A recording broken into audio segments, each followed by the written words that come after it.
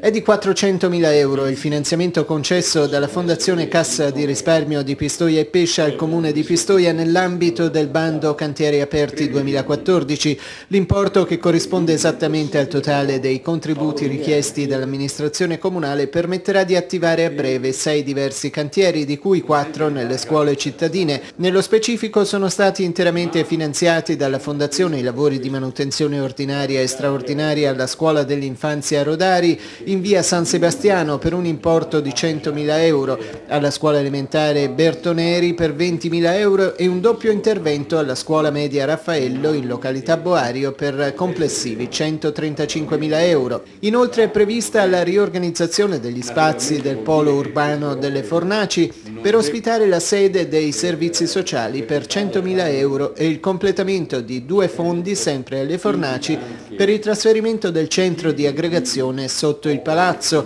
per 45.000 euro. Quest'ultimo sarà il primo cantiere ad essere attivato. Sempre nell'ambito del bando Cantieri Aperti altri 195.000 euro sono stati concessi dalla Fondazione Caripit al comune di Quarrata. Serviranno a realizzare a breve due diversi interventi presso le scuole di Valenzatico.